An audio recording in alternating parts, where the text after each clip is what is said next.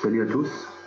Euh, à ce niveau, on arrive à générer notre modèle 3D d'une charpente métallique euh, classique avec des portiques de, stabilité euh, à âme brisée. Les poteaux et les traverses sont les deux en profilé, laminés à chaud. Et dans ce cas-là, on a choisi la famille IPE puisque les éléments sont soumis à la flexion simple et dans ce cas-là, on peut utiliser les profilés en I caractérisés par une forte inertie euh, par rapport à l'axe Y. Donc ici, il faut faire attention au niveau de la disposition de la section pour, pour faire euh, euh, ou bien pour obliger la participation de l'inertie par rapport à Y dans la résistance des éléments et ces éléments-là travaillent finalement à la, à la friction composée si je parle des éléments de notre portique de stabilité.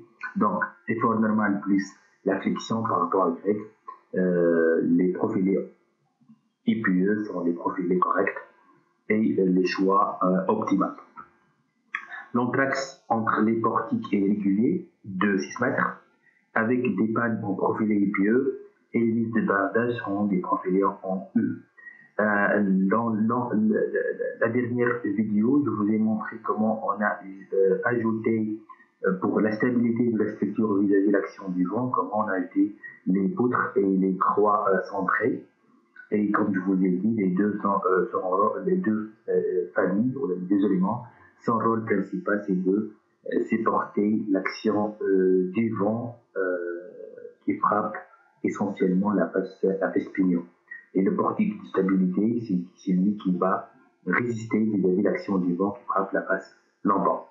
Euh, donc, à ce niveau, les charges appliquées jusqu'à maintenant sont les actions climatiques, l'action du vent, euh, générées selon le MV65 euh, d'une façon correcte, comme je vous l'ai montré à travers le modèle 2D. On a généré le modèle 3D et donc, par la suite, toutes les, les actions du vent pignon, vont longtemps, pression et dépression ont été euh, générés.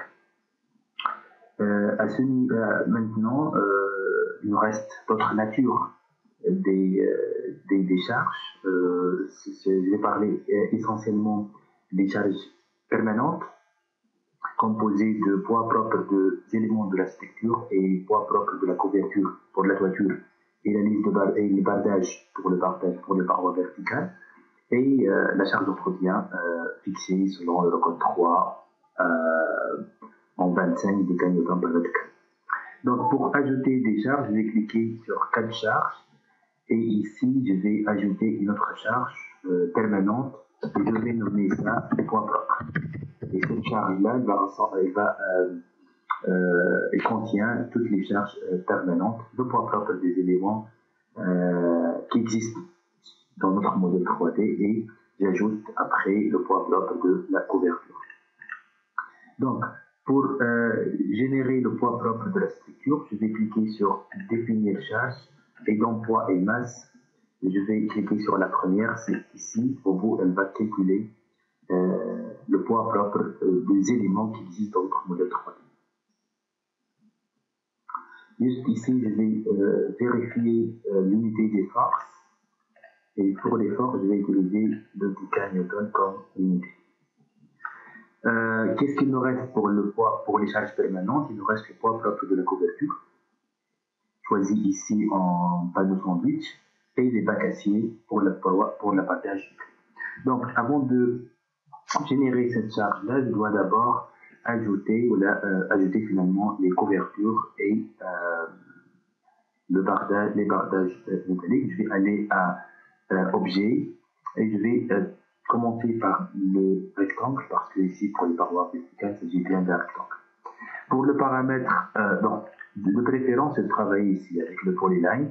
Et dans paramètres, il faut cocher par date. C'est juste, on va créer des surfaces. Ils sont l'essentiel, c'est de, de, répartir les charges vers les éléments de la construction. Donc, c'est une surface sans poids propre, avec un poids propre et poids propre égal à 0. Et sur cette surface-là, je vais appliquer les charges qui représentent le poids propre des, différentes, euh, différents panneaux choisis pour notre construction.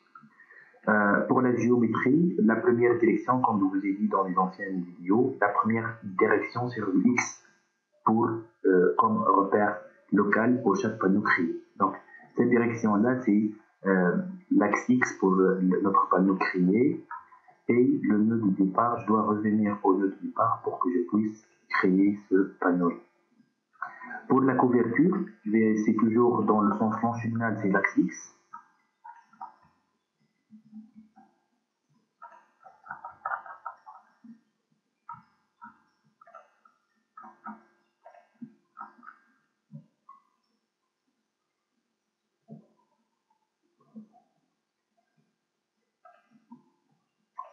Pour la face pignon,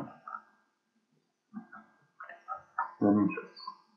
Toujours, le point de départ, c'est le point d'arrivée. Ok.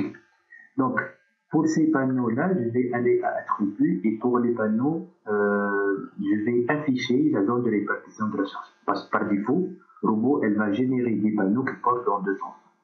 Le sens porteur pour les bardages, c'est vers les listes de bardage, donc c'est la, la flèche verte. Et la même chose, la flèche verte aussi pour la voiture. Et la flèche jaune pour les clés.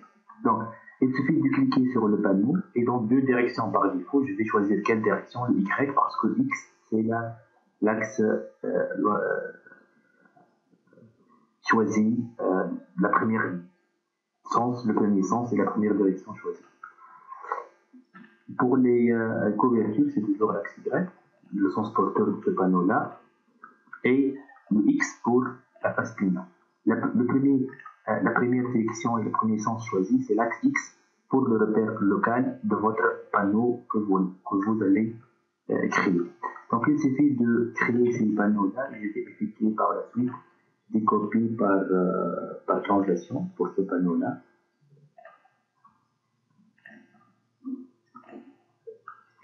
Euh, par miroir vertical pour euh, la couverture.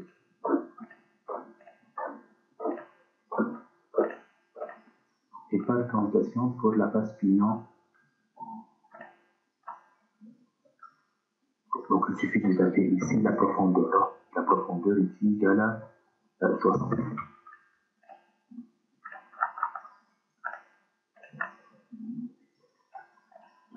Je reviens à cas de charge.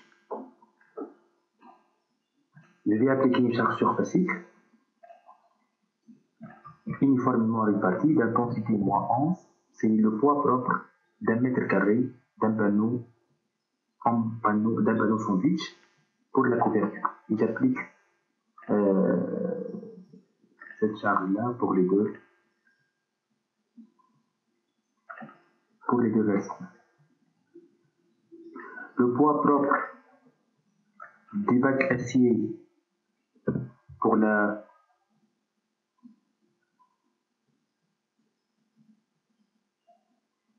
les parois verticales.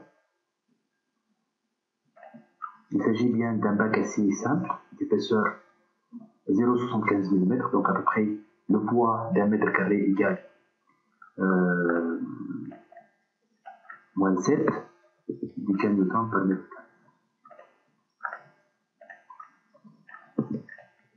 Donc, la charge numéro 9, c'est le poids propre qui contient, qui, euh, dans cette charge-là, il rassemble les poids propres, le poids propre des différents éléments déjà existent dans notre modèle 3D, ainsi que le poids propre de la couverture, de panneaux sandwich pour la couverture et bac acier pour les parois euh, verticales. La dernière charge, c'est la charge d'entretien.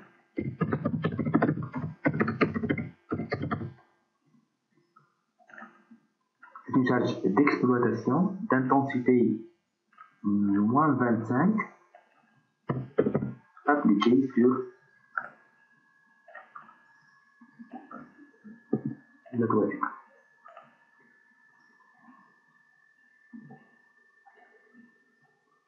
Donc à ce niveau, toutes les charges ont été appliquées.